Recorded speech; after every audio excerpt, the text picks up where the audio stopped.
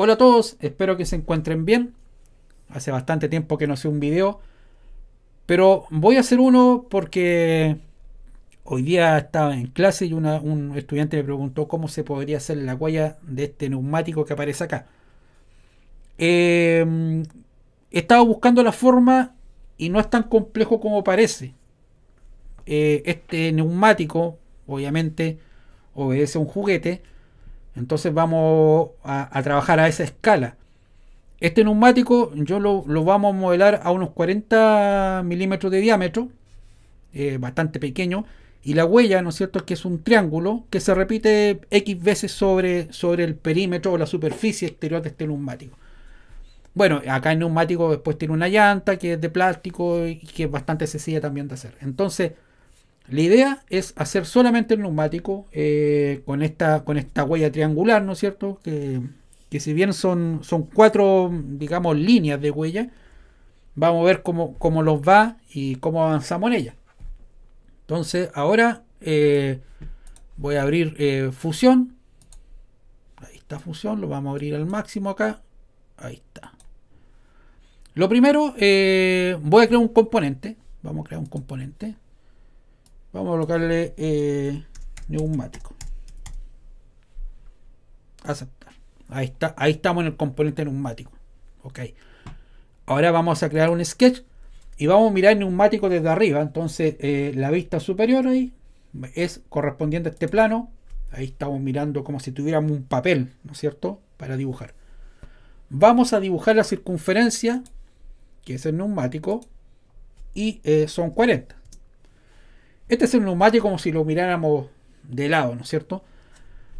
Lo que debemos hacer ahora es eh, definir eh, el triángulo, pero si uno, uno observa bien este neumático al que le mostré la figura, se repite X veces, pero esas X veces va a relación al radio que está proyectado, ¿no es cierto? Desde un origen hacia acá. Hay un ángulo aquí. Es como si fuese un trozo de torta el que tenemos que hacer. Entonces, yo voy a crear una línea central. Esta línea la voy a transformar en, de eje. Otra línea acá. ¿No es cierto? Y ahora este ángulo va a definir, ¿no es cierto?, el triángulo. Entonces, si yo, este ángulo es grande, va a tener menos triángulo por todo el perímetro. Si es más pequeño, obviamente eh, va a ser más tupido esta huella. Entonces vamos a acotar. De aquí a acá tenemos 9. Entonces yo creo que para que sea pequeña, unos 5 podría ser. Una cosa así. Ok. Y ahora vamos a copiar, ¿no es cierto? Eh, este, esta línea inclinada, ¿no es cierto? En diagonal. No hay que hacer nada más porque ocupamos esta herramienta de, de eje. Ya aceptamos. Entonces, tenemos 10 grados en total aquí. Entre estos dos, digamos, no son triángulos, pero estos dos sectores hay 10 grados. Ahora, lo que debemos determinar es qué tan profunda queremos que sea la huella hacia adentro del neumático, o sea, hacia abajo. Pero para ello tenemos que cortar, ¿no es cierto? O crear un sector circular. Entonces lo vamos a dejar ahí. A medida que yo vaya construyendo esto, se va a dando cuenta, ¿no es cierto?, cómo, qué es lo que me estoy refiriendo. Esta huella de profundidad dice que tiene 1,13, lo vamos a mojar de 1. Y lo que debemos hacer ahora es recortar todo lo que nos sirva con la letra T. Entonces T uno hace un barrido solamente. Y ahí elimina eso y elimina eso. Tengo un trocito ahí de, de con un trozo de torce, ¿no es cierto? Ahora vamos a extruir extruyo esto con esto, ¿no es cierto? Y la extrusión tiene que ser en este caso em, simétrica. Entonces ahí está eh, simétrico. Entonces ahí se puede ver. Entonces tenemos dos, dos medidas, ¿no es cierto? Medida longitud y medida total. Yo siempre trabajo con la medida total. ¿Qué significa esto? Que sobre esta superficie va a estar impreso, digámoslo de alguna forma, nuestro triángulo, un triángulo. Entonces, aquí dice 2. Yo creo que está bastante bien porque mm, si lo hago más ancho, ¿no es cierto? O de mayor longitud, el neumático se va a empezar a ensanchar demasiado. Aquí son 2 milímetros. Pensemos que un juguete, que está, esto está, está hecho con un proceso de inyección seguramente. Entonces se puede lograr ese, ese nivel de, detalle de finura. Entonces tenemos eso. Voy a marcar el origen. Ahí está nuestro origen. Ese que se ve apenas acá. Y voy a, eh, a dibujar un sketch. Sabemos que yo no puedo dibujar directamente sobre una superficie curva. Esto está curvo. ¿Se fijan? O sea, si lo miro aquí de lado, claramente es un arco de circunferencia. Entonces, para yo poder dibujar sobre esa curva o que se imprima el, sketch que dibuje objeto sobre esa curva, tengo que eh, crear un, plano de fase o un offset plane. Lo selecciono hay una flecha y esta flecha me indica este papel, por decirlo de alguna forma, donde yo puedo dibujar. Da lo mismo la distancia, siempre que esté arriba de esta superficie, obviamente. Entonces ahí está mi plano para dibujar. Entonces yo voy a crear un dibujo ahí. Ahora aquí se ve el plano, eh, ese, cuadrado es representativo. Eh, porque yo podría dibujar acá, acá, acá en forma infinita, ¿no es cierto? Y siempre estaría en ese plano de trabajo. Entonces ahora me voy a acercar y vamos a dibujar un triángulo eh, que va a partir em, de acá. Pero si se fijan, si yo tiro una línea, no, no, hay un snap o como AutoCAD se dice, o se, pegue. Entonces necesitamos ocupar la herramienta de crear, de proyectar, P, selecciono esta área y si se fijan, se dibuja el, este cuadrado, que es la proyección, obviamente, de ese sector circular, y me va a servir, servir de ayuda de guía. Entonces le digo aceptar, queda delimitado por, esa, por esas líneas de color eh, morado. Entonces ahora, ahora sí dibujamos el triángulo. Este triángulo nace, mm, lo vamos a dejar a ver por aquí, ¿no es cierto? Algo así. Otra L y por acá. Obviamente estas dos líneas tienen que ser paralelas. Entonces ocupamos esta restricción de paralelismo. Siempre marcan la primera, la que la que quiere que se copie, ¿no es cierto? Y se hace. Y ahora una letra L, que podría ser de aquí al centro, donde está esa marca. Ok. Y esta línea tiene que ser eh, de eje. Entonces, ocupamos la simetría. Y ocupamos esta, mm, estas dos líneas. A ver, ahí se puso medio rebelde, lo vamos a hacer nuevamente. Eh, objeto, esa línea con esa línea y ya como eh, ocupé esa línea de eje mm, queda automático. Entonces tengo eso. Y lo que debemos hacer ahora es que esta flecha esta flecha que ustedes ven acá tenemos que extruir con cortar sobre este sector sobre este pedazo de torta por decirlo de alguna forma. Entonces termino el boceto extruir entonces eh, cortamos ahí está cortado ahora eh, hasta aquí todo bien. Eh, vamos a replicar este, este trozo, digamos, sobre este eje. Sobre este eje que está acá. Porque sabemos que de ahí empezamos a dibujar nuestro, nuestro neumático. Entonces, patrón circular. Acá dice cara. Si yo selecciono todo eso y digo eje, marco el verde. Ahí aparece la cara. Se está replicando tres veces. Esto no sé, me imagino que sea unas 30 veces. Ahí le faltó un poquito, ¿no es cierto? Entonces, sumo otro, otro, mira, 33, 34, 35, 36 veces. Si yo 37 ya me pasé. Entonces yo sé que 36 veces se está eh, replicando. Aceptar. Y ahí se ve, ¿no es cierto? Eh, nuestras piezas, ¿no es cierto? Eh, listas. Bien. Ahora, está todo, ¿no es cierto? Perfecto. Obviamente esto está suelto en el espacio. Yo lo voy a. Mm, lo, podemos fijar ahora. Fijar o lo podríamos fijar al final. Entonces ahora este neumático, ¿no es cierto? Si yo lo abro acá, ¿no es cierto? Aparecen todas las otras instancias. Eh, lo vamos, vamos a replicar este anillo hacia un lado. Entonces ocupamos simetría. Entonces aquí está el detalle. Eh, marco todo el objeto y el plano va a ser un costado, ¿no es cierto?, de neumático o podría ser, eh, a ver si coloco un plano, ¿qué pasaría ahí? ahí se traslapan, ¿no es cierto? Porque estoy justo en el plano y estoy copiando 602 objetos, que es demasiado. Vamos a ver cómo lo podríamos hacer de una forma más efectiva. A ver, eh, el neumático podría copiarlo. Vamos a ver si lo puedo copiar. Control C y B. A ver si nos da.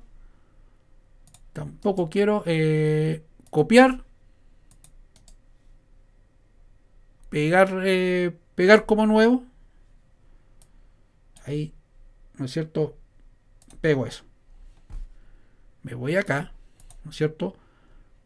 Voy a unir eh, este con este, con la letra J.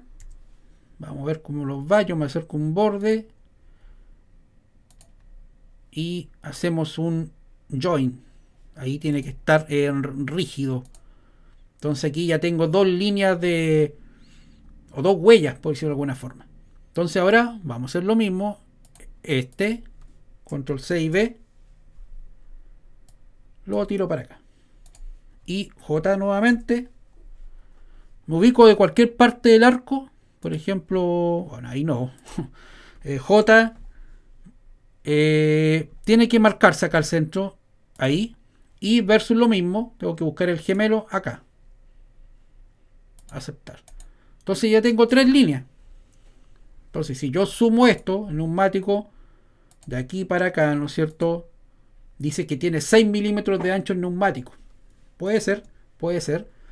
Ahora, lo que yo quiero hacer es llenar esta parte. Entonces, aquí tengo 1, 2, 3 neumáticos. Bueno, el detalle está eh, que debo eh, llenar la parte central. Entonces, voy a... Vamos a ver cómo lo hacemos. A ver, eh, voy a crear, a ver, no sé si crear, a ver, neumático, voy a ocupar este, neumático ese que está ahí. Ok, entonces voy a hacer un sketch sobre esta cara, que obviamente está al centro. Entonces, circunferencia, lo voy a hacer algo así, el neumático como de ancho, digamos. Y, a ver, podría yo ocupar la herramienta proyectar para marcar un arco ahí. Así me ayuda, ¿no es cierto?, como guía, mira. Porque aprieto la C. Vamos a hacer de nuevo, aquí estamos. Ahí estamos, estamos. Circunferencia. Ah, perfecto. No lo está tomando porque estoy en otro boceto. Fíjense acá, aquí estoy cometiendo un error. Aquí tengo dos bocetos. Ese lo vamos a suprimir. Y vamos actuar con ese boceto. Ya, a ver, vamos a ver qué pasa. Circunferencia. Ahí sí. Entonces ahora que tengo eso, eh, extruir, extruyo ese, ese mm, anillo. ¿No es cierto? Vamos a ver. Lo tendría que extruir. A ver. Vamos a hacer una prueba. Creo que no está quedando tan, también, por un lado, correcto. Esto debería llegar en distancia al objeto, o sea, a esta cara azul, digamos. A esa cara, a ver. Vamos a ver. Oh, mira qué raro que quedó esto que está acá, pero eso lo deberíamos arreglar. ahí. Tengo eso. Ahora, si se fijan, obviamente aquí tengo mm, eh, la huella, la huella acá, pero yo necesito, voy a tomar el mismo, mira, fíjate, y voy a extruir esto que está acá. Lo vamos a extruir, no, vamos a tomar otro para no causar conflicto y vamos a hacer lo siguiente. Vamos a ver si funciona, no estoy seguro. Quiero que sea todo esto como un componente. Entonces combinar ese eh, con ese. A ver, a ver. Ah, mira, qué bien. A ver, combinar. Mira, aquí está por parte, ¿te fijas? El azul quedó como parte. Vamos a ver qué podemos hacer. Vamos a ver si lo puedo meter en una carpeta. Mira, eh, nuevo componente neumático. Ok, ok, Y esto lo vamos a meter al neumático. Este es un neumático y este es el neumático. Lo que pasa es que si yo lo meto en una carpeta, quedan dentro de otra carpetita. Entonces, control C. Ahora, no me gustó esto, eh, que quedara, mm, ¿no es cierto?, el, el, azul.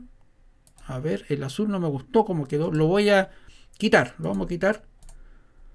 Y este anillo, ese anillo, ¿no es cierto?, que está acá. Vamos a ver, o este anillo. Mira, tiene ese doble. Ah, mira, tiene. claro, porque una copia. Mira el detalle grande. A ver, voy a quitarlo también. Este, esto que está además no me gusta, entonces vamos a arreglar esto. A menos 2, aceptar. Mira, está como traspapelado el cuento neumático. Bueno, tiene un cuerpo aquí. Vamos a extruir nuevamente. Y aquí tendría que ser menos 2, aceptar. Ahí tengo 1. Entonces ahora vamos a hacer lo siguiente, mira. Este neumático lo vamos a copiar eh, y en esta lo vamos a pegar como nuevo. Entonces se copió hacia acá, aceptar. Ya, perfecto. Entonces ahora, ahora sí, J, estoy demorando demasiado. Eh, aceptar. Y este, control C, pegar como nuevo, ¿no es cierto? Lo colocamos acá. Y J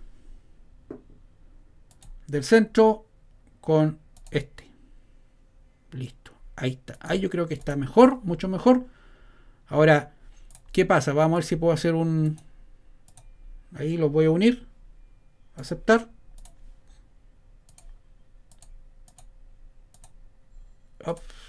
Ahí, a ver, a ver aceptar. Y ahora queda un solo componente. Eso es lo que yo quería buscar. Bueno, y ahora eh, voy a extruir esto hacia acá. Yo creo que unos 2 milímetros estaría bien. Eh, a ver, vamos a retroceder sobre este. Bueno, claro, aquí eh, aquí es todo uno. Se fijan, si yo hago desaparecer esto, se desaparece todo. Entonces, este que está acá no me sirve. Voy a ver si lo puedo, mm, esto de acá, suprimir o quitar. Y quitar. Ahí quedó limpio. Entonces yo voy a trabajar sobre este neumático que une a los tres que antiguamente eran. Esa superficie. 2 eh, milímetros. Ok. Y esta superficie. 2 eh, milímetros. Ok y ya lo tenemos casi listo porque ahora tenemos que redondear ahí, ¿no es cierto? Más o menos como si fuese un, un neumático juguete, algo por el estilo. Y obviamente acá eh, también lo podría redondear, ¿no es cierto? Porque va la llanta. Entonces la llanta para que entre fácilmente lo podríamos redondear ahí. Bueno, y ahí tenemos el, el neumático. Costó un poquitito, pero bueno, eh, superior, correcto. Voy a rectificar la medida isométrica, perfecto. Yo quiero ver acá en cámara, mm, ya, perfecto. Eh, a ver, derecha, posterior, eh, posterior, inferior, ya, correcto. Entonces, así se hace el neumático del, del, juguete.